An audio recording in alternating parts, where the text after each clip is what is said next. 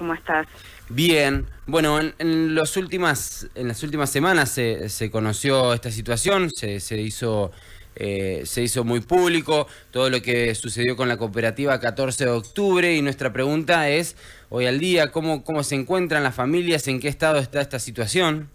Eh, sí, nosotros nos enteramos eh, a partir del viernes 29 de julio, que bueno, fuimos progresivamente enterándonos, eh, porque ese día iba a estar la, la entrega de las tenencias, un grupo de los damnificados fue a esa reunión y bueno, nunca lo llamaron y de ahí en más fuimos, fuimos enterándonos el resto. Eh, hoy en día, ¿cómo estamos? Eh, tenemos una denuncia penal hecha en Fiscalía, en la parte de delitos económicos, y aparte tenemos a través de Defensoría del Pueblo eh, reuniones con la gente del Foro de la Meseta y de CODAM para ver si ellos pueden colaborar con alguna solución. Ustedes tuvieron que desembolsar una suma de dinero.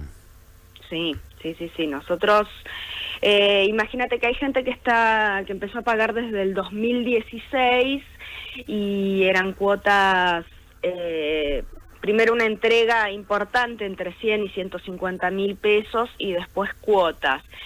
Eh, a plata de, de, hoy serán entre 10 mil y 20 mil dólares, porque iban variando los valores, depende de cómo nos veía la cara este hombre, Mario del Río. Cecilia, buen día. Miriam Camargo te saluda. Eh, Miriam, ¿cómo estás? Bien. ¿Qué se sabe de este hombre? Nada.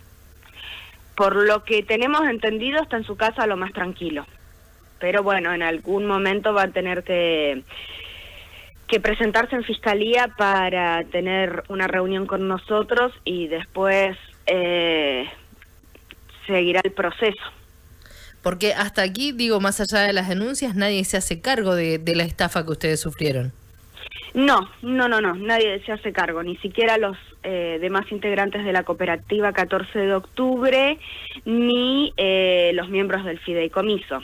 A ver, ¿cómo es el tema? La tierra donde está el foro de la meseta la cedió municipalidad a, la mutual mercantiles, de ahí se hace el fideicomiso y esta tierra se cedió para justamente la urbanización y la venta. Em, se crea el fideicomiso el foro de la meseta y se invita a cooperativas y mutuales. Eh, dentro de esas cooperativas estaba la cooperativa 14 de octubre. Este hombre, Mario del Río, eh, estaba codo a codo con Lorena Troncoso, eh, que es la administradora del foro de la meseta.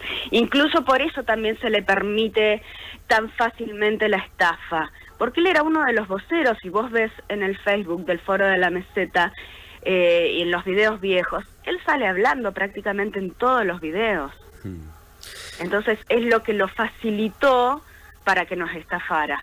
Y el foro no, ni el foro ni la desarrolladora se hacen cargo. Dicen que ellos no tienen nada que ver. ¿Y, tuvieron hasta ahora eh, en algún momento una mediación? ¿También hubo un allanamiento en, lo que es la cooperativa? Eh, ¿qué, qué, qué resultado arrojó todo eso? La mediación fue a través de Defensoría del Pueblo, eso va eh, la parte civil, que es donde queremos llegar a un acuerdo, y el tema del allanamiento es la, por parte de Fiscalía, por parte de lo penal. Eh, acuerdo todavía nada y básicamente nosotros lo que queremos es el terreno, que ya pagamos, que pagamos en, en la totalidad, en el foro de la meseta, en el distrito 2 eh, así que bueno, estamos tratando de involucrar al municipio porque el municipio no, no, controló qué era lo que hacían las cooperativas, qué era lo que hacía el foro y ver si podemos llegar a tener alguna respuesta favorable. Cecilia, hasta aquí, ¿cuántas familias han sido damnificadas? Y somos aproximadamente entre 60 y 70.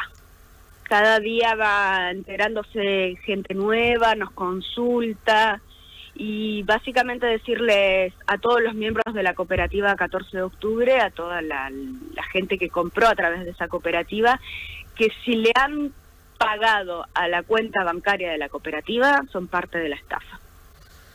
Son muchas familias, Cecilia. Es mucha gente, sí. Y es mucho dinero, ¿no? Obviamente. Y si calculamos que esa razón de 10 mil a 20 mil dólares por persona es más de un millón de dólares. Y esta persona, vos decías, todavía no, no hay novedades, no, no, no, o sea, en principio debería ser juzgado. ¿Cómo, cómo continúa esto? ¿Qué es lo que, lo que podemos esperar de aquí en adelante? Y es un proceso, el proceso de fiscalía es un proceso que demora, obviamente mm, tiene sus tiempos. Eh, lo que nosotros sabemos que próximamente va a haber una mediación eh, con la gente denunciada, con Mario del Río, con Claudia Godoy, con la cooperativa 14 de octubre, a ver qué proponen ellos, qué forma de eh, solventar sus errores pueden llegar eh, a encontrar y que nosotros obviamente estemos de acuerdo de eso. Si no, si no se llega a ningún acuerdo, se continúa con el proceso penal. Cecilia, no sé si vos tenés el dato, pero la cooperativa sigue existiendo? No, la cooperativa está cerrada. No va nadie directamente, ni siquiera Mario del Río, ni Claudia Godoy, que era la secretaria, ni ninguno de los otros integrantes de la cooperativa. Que nos estamos olvidando de que hay un vicepresidente, un tesorero, y de la cooperativa no se sabe nada. Cecilia, vos decías que ustedes obviamente aspiran al tema del terreno. ¿Sería una posibilidad también la devolución del dinero?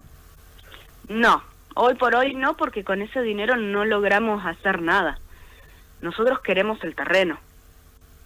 Bien. Imagínate que hay gente que tiene el procrear en el banco, hay gente que ya tiene la constructora pagada, que le están preguntando dónde te pongo la casa. Eh, ya no se puede arreglar con la devolución del dinero. Bueno, y en esto que vos decías, Cecilia, ¿no? El tema del control. ¿Nadie controla las cooperativas? No, se pregunta uno, ¿no? Y me imagino que ustedes también. Eh, según la abogada del Foro de la Meseta y de CODAM, ese trabajo es de los socios.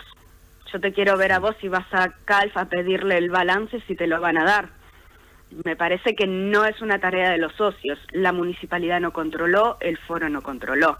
No hay síndicos, así que estamos en la nada misma con eso. Eh, Cecilia, por último, ¿tienen pensados tomar otras medidas si, no hay una respuesta, si no se avanza? ¿Qué, qué medidas podríamos tomar? Sí, a esta instancia solamente queda esperar lo que defina la justicia, ¿no? No, no, exactamente. Nosotros vamos a ir por los canales habilitados, desde lo legal en Defensoría del Pueblo, en la Fiscalía. Después, eh, no sé qué canales podríamos tomar. Lo que sí necesitamos es que esto no, no deje de, viralizarse, de estar nuestro, nuestra problemática en los medios. Por eso desde ya les pido muchas gracias, le digo muchas gracias por, por permitirnos. Cecilia, nosotros te agradecemos a vos por tu tiempo y obviamente los micrófonos de RTN abiertos para cualquier novedad, para lo que, lo que haya que difundir y denunciar, también estamos acá. Muchas gracias a ustedes, Miriam, Gastón, que tengan un buen fin de semana. Igualmente para vos. Hasta luego. Hasta luego. Ahí pasaba Cecilia Ronchi, una de las damnificadas en la cooperativa 14 de octubre. Dosis de